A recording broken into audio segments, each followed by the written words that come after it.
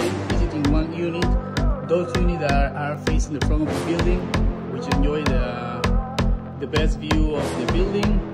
Here we have a two bedroom, open kitchen here, the area of living room.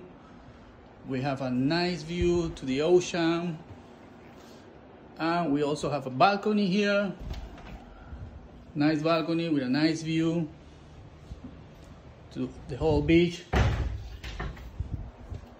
So this is the open kitchen, the secondary bedroom, and here we have the master bedroom with a nice view to the beach, full ocean view.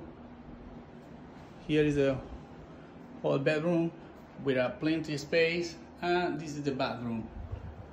So this apartment